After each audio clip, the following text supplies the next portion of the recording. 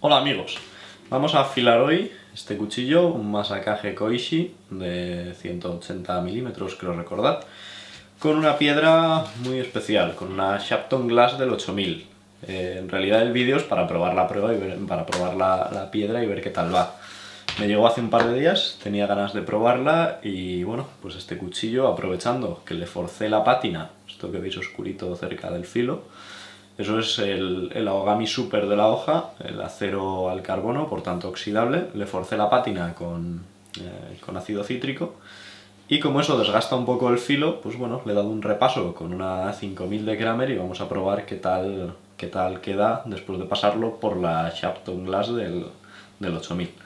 Como detalle, cuando forcéis la pátina con, eh, con algún ácido, tener cuidado con el, con el ennegrecido de, de, la forja porque bueno, se puede deteriorar un poco. A mí me pasó con este, no es gran cosa y del uso se acaban desgastando, pero bueno, si podéis hacer que dure más, mejor. Vamos a probar la piedra. Viene en una cajita negra, muy elegante. Lo primero que hay dentro son unas instrucciones de cómo utilizarla, de cómo evitar estropearla. La piedra en sí, grano 8000, con los micrones de la partícula.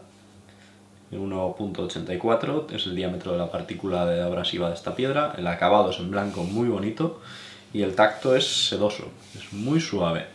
Si la 5000 no tiene tacto de piedra al uso, la 8000 aún menos.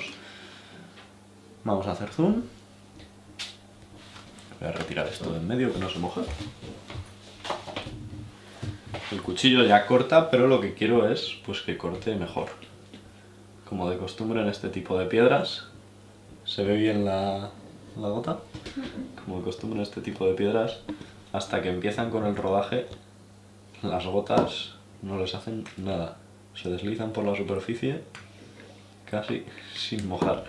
Pero bueno, esto me pasó también con, con otras piedras, con las de con la Shapton Kuromaku de, de, de granos altos y no pasa nada. Con el, uso, con el uso ese efecto tiende a desaparecer, pero bueno, es curioso. Vamos a ver qué tal. Por cierto, este cuchillo es maravilloso. Este cuchillo es lo más parecido a no tener nada en la mano y tener un filo capaz de cortar cualquier cosa. Vamos a ver qué tal se comportan. El tacto es muy agradable, es una sensación muy suave, se desliza muy bien el sonido y el tacto son, son fabulosos.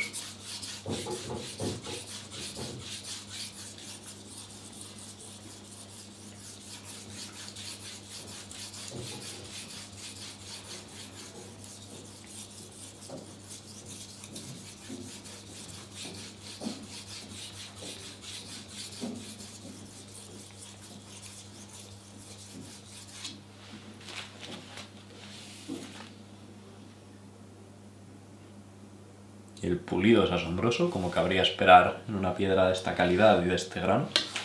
Y vamos a ver qué filo nos deja cuando terminemos con ambos lados.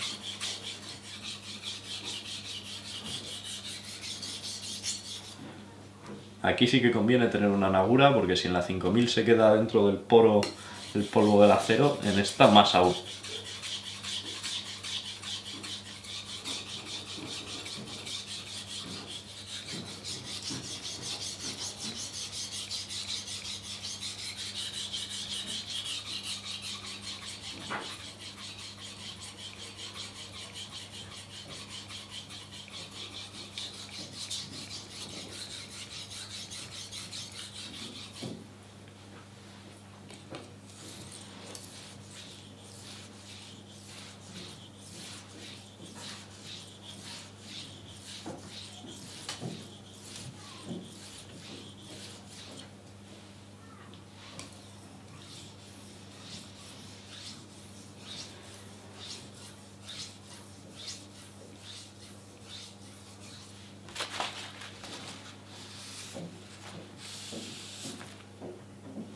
Abre el plano y vamos a ver qué tal.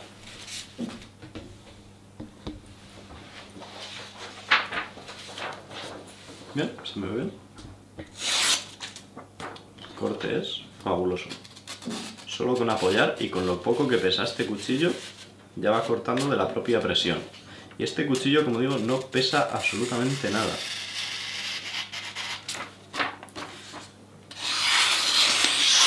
Un corte suave y muy bueno. Muy satisfecho con esta piedra, sin duda. La excelencia japonesa. Ni el acero parece cero, ni la piedra parece piedra. El acero, esta hoja es tan liviana que casi no pesa en la mano. Y la piedra se desliza como si fuera, casi como si fuera sobre seda. En la cámara entiendo que es probable que no se vea la diferencia entre una 5000 y una 8000, que es este caso, pero en la mano se nota, se nota y mucho.